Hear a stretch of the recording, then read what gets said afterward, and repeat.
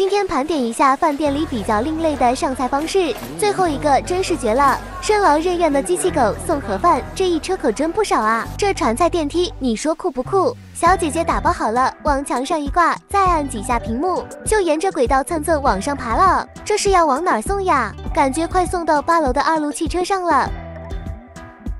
马上我们就开了，不要动了哈，现在送菜来了。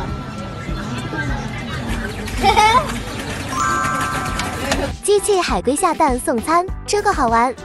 贝壳慢慢打开了，原来是乌龟下的蛋。掀开蛋壳，哇，是美食哦！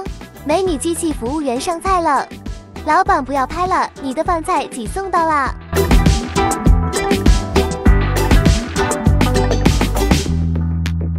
送菜机速度真快。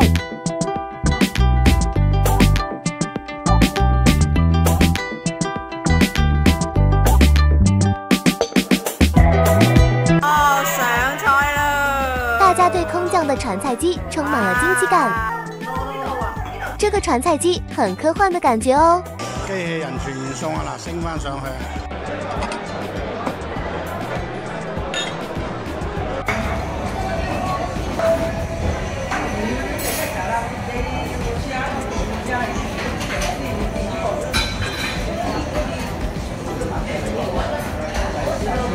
这个更像科幻片里的送菜机。家长给娃点的失重汉堡，嗖嗖嗖，汉堡漏下来了。在这里吃餐饭，像是逛了一圈科技馆。这个传菜机看着安稳多了。